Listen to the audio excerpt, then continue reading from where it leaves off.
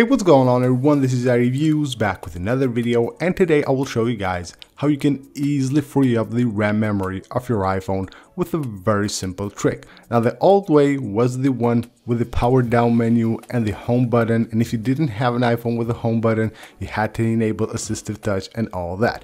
But this one is actually much much easier to do than that. Now for the sake of the video I have installed three different apps from the App Store which show you the free RAM memory of your iPhone. So here's the first one. We have about 350 megabytes of free RAM memory. And here we have the second one around 300. So here we have the third one again around 300. If you just let it sit here for a couple of seconds, it will show basically the same about 350 megabytes of free RAM memory. Now let's do the trick and then we will see again how much free space we have on the RAM memory of my iPhone.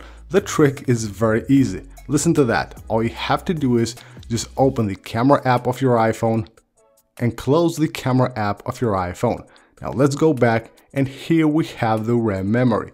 900 megabytes right here. Go to the second app. You can see here we will have probably around 900 megabytes as well and let's go to the third app and here we have basically the same. So we just freed more than 500 megabytes with just one simple click.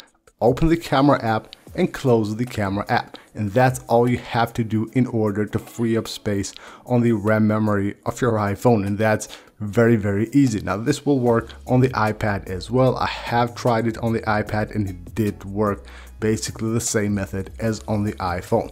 So that's how easy it is to free up more than 500 megabytes of RAM memory on your iPhone with just one simple trick. Open the camera app and go ahead and close the camera app. That way it will free up all that space. Now I did try this with other apps, it didn't work, it only works with the camera app. Of course the stock camera app of iOS.